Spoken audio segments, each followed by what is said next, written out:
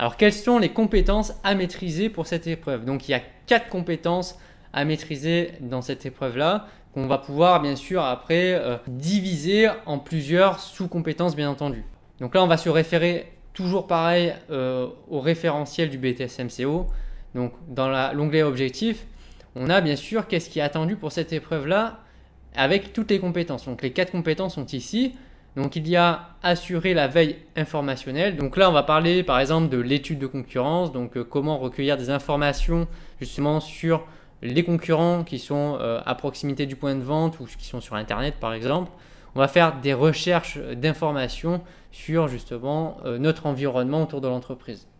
Deuxième compétence, ça va être réaliser des études commerciales. Alors il y a plein d'études commerciales possibles à réaliser. Bon, bah, du coup, des études de concurrence. Il y a des études de marché que vous allez pouvoir faire. Donc, par exemple, une étude documentaire sur, euh, par exemple, je vais dire le marché des animaux de compagnie. Euh, vous allez faire des enquêtes, enquêtes de satisfaction, par exemple. Donc là, c'est vraiment des, des exemples d'études commerciales que vous devrez faire. Après, il y a la compétence vendre. Et oui, l'épreuve UE41, elle est vraiment orientée autour de la vente et de la relation client et de la recherche d'informations commerciales sur nos clients pour euh, mieux les connaître et donc pour adapter ensuite l'offre. Donc la compétence vendre que vous allez devoir euh, développer, c'est pas uniquement la vente en, face à face. Alors évidemment, il y a la partie conseiller de vente qui va apparaître avec les étapes de la vente à maîtriser. Donc il y a plein d'étapes, il y a presque une dizaine d'étapes pour bien réussir une vente.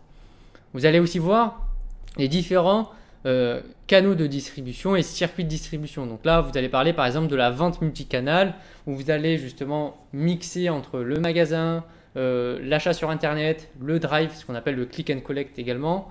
Euh, vous allez voir toutes les méthodes de vente en libre service, en libre service assisté, donc en face à face ou non, vente traditionnelle. Vous allez voir toutes ces notions-là.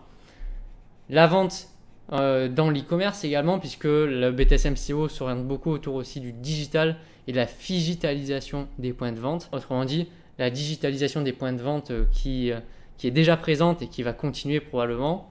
Et bien sûr, les méthodes de vente, j'en ai déjà parlé. Quatrième compétence, bien sûr, c'est la relation client. Et c'est tout simplement dans le titre de l'épreuve. Hein.